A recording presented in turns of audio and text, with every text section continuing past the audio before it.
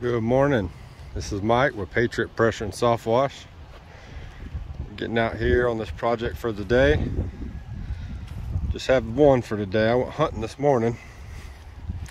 It's kind of chilly. It's about 30, 34, right next to freezing. So didn't get to uh, really enjoy it too much. I was all bundled up, but anyways, we got one little small single story house uh, nice lady, she called me beginning of this week, I think. Today's Friday, so she called me, I think Monday or Tuesday. Said she'd like her house washed. Her husband passed away and he used to take care of it, she said. And she asked me, how do you, how do you do that? Because my husband always used the pressure washer to take care of it a couple times a year.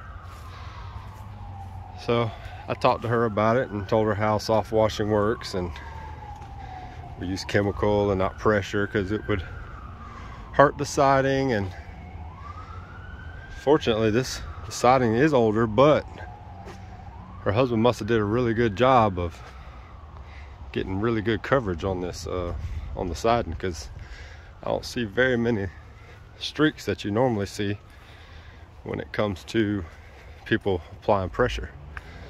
But this is the north end of the house so of course you got all the the yuck, the nasty. See, it ain't coming off. I don't see how people would use use pressure. Anyways, a little bit on the gutter. You know how that goes. But we'll get this one all pictured up and start working on it.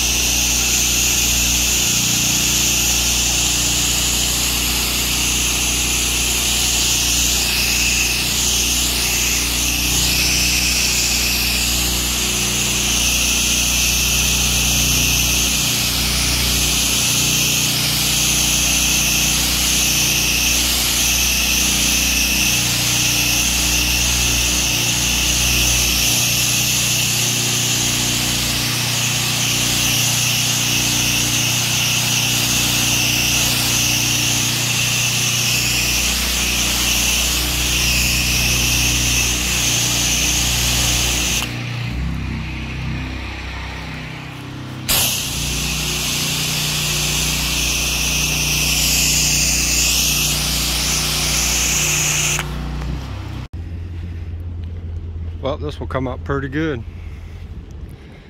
All the green gone in the back. Dirt on this side. I don't know where that dirt comes from. Must have been built up for a couple years or so. Got her steps washed off, so I don't want her slipping and falling, that's for sure. But maybe she can use a driveway cleaning too. I might see if she'd like to do that in the future. It's got some, some new concrete right here, but we'll see. All packed up, ready to go. It's the only one I got today, so I'll see you on the next one.